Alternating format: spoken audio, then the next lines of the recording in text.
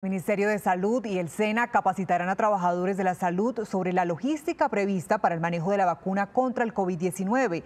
Este curso será virtual, tendrá una duración de 48 horas y estará disponible en 40 municipios de las 33 regionales del SENA en el país.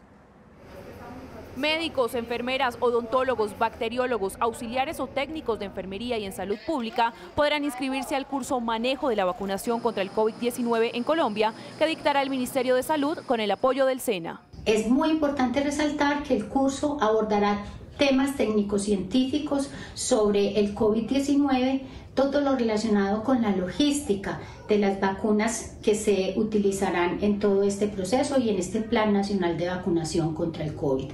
Los trabajadores de la salud deben hacer un preregistro con el Ministerio de Salud y después registrarse en el aplicativo institucional del SENA, Sofía Plus. El curso tendrá una duración de 48 horas con encuentros sincrónicos diarios que se desarrollarán por medio de alta mediación tecnológica con la utilización de plataformas, guiado por los instructores del SENA. Los cursantes abordarán los siguientes puntos.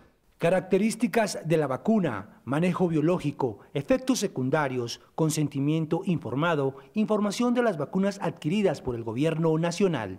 Para fortalecer la competencia en la administración de inmunobiológicos, pero esta será la oportunidad para cualificar y garantizar la calidad en la aplicación de este inmunobiológico.